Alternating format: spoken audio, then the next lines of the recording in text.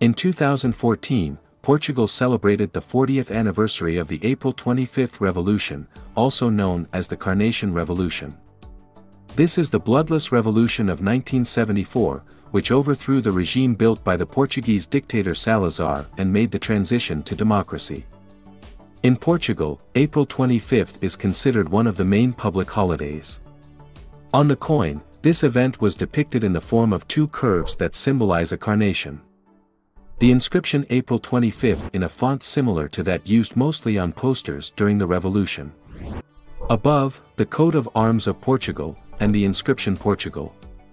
At the bottom is the inscription 40 years, the minting year is 2014. The mark of the Portuguese mint. Artist's initials.